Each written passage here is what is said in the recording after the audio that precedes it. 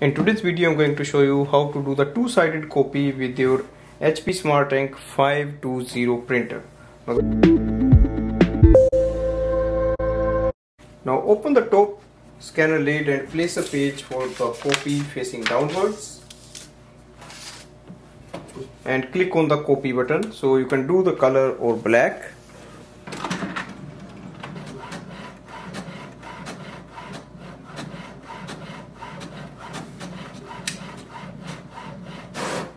so we printed on the one side. To print on the second side simply take the page reverse it and install it back in the paper tray. Now open the lid and place the second page you want to copy and click on the copy button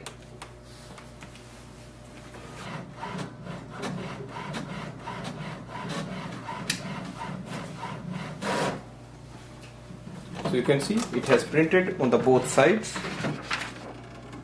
Thanks for watching